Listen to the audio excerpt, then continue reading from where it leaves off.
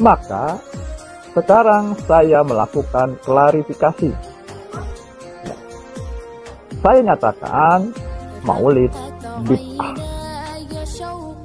Dan saya cabut ya pernyataan saya di konten saya tentang bolehnya masuk ke gereja maka saya cabut. Nah, setelah ini saya harus tegas bersikap. Saya akan menolak setiap undangan ceramah yang berhubungan dengan hari-hari besar agama Islam seperti Maulid, Isra Mi'raj, Nuzul Quran, dan sebagainya. Dan saya menyatakan bertaubat dari bid'ahan yang pernah saya lakukan. Ya Rasulullah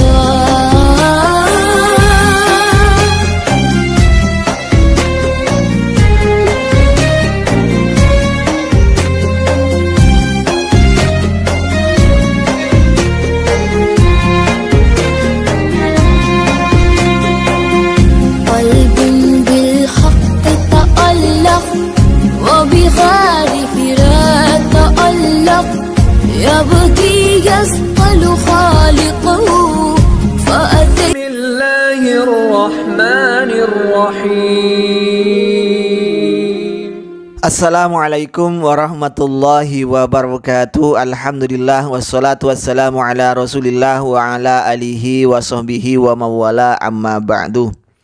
Sahabat-sahabat Aswaja, seluruh subscriber semuanya, seluruh penonton di mana pun berada Saya tak lupa untuk mendoakan teman-teman semua. Mudah-mudahan Allah subhanahu wa ta'ala senantiasa memberikan rahmatnya, taufiknya, hidayahnya, memberikan maghfirah kelancaran rezeki dan kesehatan kepada kita semua. Amin. Allahumma amin. Saya kali ini akan membongkar lagi kepelin-pelanan atau bisa dijadikan bahasa ke kalau kemunafikan kayaknya gimana ya? Iyalah, samalah seperti itu sebenarnya. Dari Endang Jaya Putra. Awal-awal Ustadz Endang Jaya Putra ini berkeyakinan bahwa maulid Nabi itu hukumnya mubah. Katanya seperti itu kan. Itu dalam penjelasan videonya. Jadi pada mulanya Endang Jaya Putra Sarjana Pendidikan Agama Islam ini berkeyakinan bahwa maulid Nabi itu adalah mubah. Isra Mi'raj, pokoknya hari-hari besar Islam. Makanya Endang Jaya Putra ini, sarjana pendidikan Islam ini diundang acara maulid, diundang acara Isra Mi'raj, ngisi sebagai pendai, sebagai penceramah dia. Katanya setelah Ustadz Endang Jaya Putra ini dikritik oleh jamaahnya, oleh pendukungnya kata Endang Jaya Putra yang diralat sepemikiran dengan dia katanya dikritik maka Endang Jaya Putra itu meralat yang asalnya menghukumi perayaan hari-hari besar Islam itu adalah mubah diralat oleh Ustadz Endang Jaya Putra berdasarkan katanya mengikuti fatwa-fatwa Ustadz Mujiman di dalam di YouTube YouTube-nya itu akhirnya Endang Jaya Putra menarik kata-kata mubahnya itu menjadi bid'ah karena ini adalah perkara baru yang diada-adakan. Itu kata Endang. Videonya ada. Jadi awalnya mengatakan maulid mubah setelah dapat kritikan, Endang itu mengatakan bahwa maulid Nabi itu menjadi bid'ah berdasarkan fatwanya Ustadz Mujiban kata Endang Jaya Putra. Nah, kemudian saya beberapa hari yang lalu itu mengungkapkan tentang adanya eh, perayaan Isra Mi'raj di lembaga atau di sekolah SMP Cokro Aminoto yang mana selaku kepala sekolahnya adalah Ustadz Endang Jaya Putra Sarjana Pendidikan Islam. Saya upload di situ. Nah, di kolom diskusi ternyata di diskusinya Endang Jaya Putra itu ya, ternyata Endang Jaya Putra ini klarifikasi bahwa acara semacam itu adalah mubah. Kata Endang lagi, kembali ke mubah lagi. Dari mubah menjadi bid'ah, kemudian menjadi mubah lagi. Buktinya ada itu.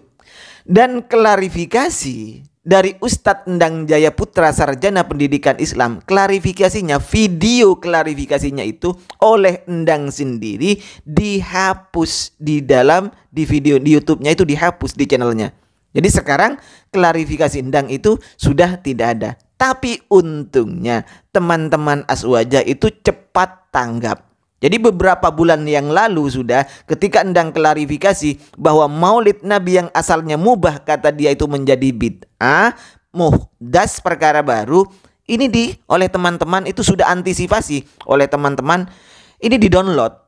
Di-download, makanya di-upload itu. Silakan kalau ingin lihat lihat di channel Al-Qudsi dan channel Nur Fatimah. Di situ ada. Itu video Endang yang dihapus oleh Endang Japutra. Kenapa? Karena mungkin takut ketahuan kemunafikan dia. Takut ketahuan. Awalnya dia mengatakan bid'ah mubah, kemudian menjadi muhdas, kemudian menjadi boleh lagi. Hingga khawatir ketahuan maka terpaksa videonya itu dihapus sendiri oleh uploadernya yaitu Endang Jaya Putra sarjana pendidikan Islam itu Pokoknya luculah Endang ini. Berubah beberapa kali. Mungkin ya Endang ini jujur waktu itu. Mengatakan bahwa Maulid Nabi itu mubah. Awalnya itu mungkin jujur Endang. Karena dia kan katanya pengurus Muhammadiyah. Bukan katanya memang itu pengurus lembaga tabligh Muhammadiyah di daerahnya itu kan. Ah, dia Endang ini beliau itu mungkin tahu memang bahwa fatwa Majelis Tarjih Muhammadiyah itu kan mubah memang hukumnya adalah mubah sehingga endang itu mau diundang maulid mau. Nah, dapat kritikan dari orang-orang dari pendukungnya mungkin di channelnya itu mungkin dari pendukungnya yang diralat menjadi sepemikiran katanya dengan dia itu ditarik menjadi muhdas. Diralat menjadi muhdas. Setelah diupload diungkapkan bahwa sekolah yang ia pimpin mengadakan acara maulid berubah lagi menjadi hukum mubah yaitu dan mubah sebenarnya itu berdasarkan fatwa tarjih PP Muhammadiyah kan anda ya kan pengurus Muhammadiyah juga Nah, berarti Anda harus ungkapkan kejujuran ini bahwa Maulid Nabi Isra Mi'raj itu adalah mubah. Ungkapkan dong. Ungkapkan. Jadi keputusan Majelis Fatwa fatwa Majelis Tarjih Muhammadiyah ini harus diungkapkan dang, diungkapkan kepada jamaahnya bahwa boleh. Jangan takut hanya karena dukungan kemudian Anda akan berubah nanti ditarik lagi kata-katanya menjadi bid'ah lagi. Baik, mohon maaf untuk teman-teman semuanya. Ini yang bisa saya sampaikan. Mudah-mudahan ada manfaatnya walaupun sedikit uh, berguyon.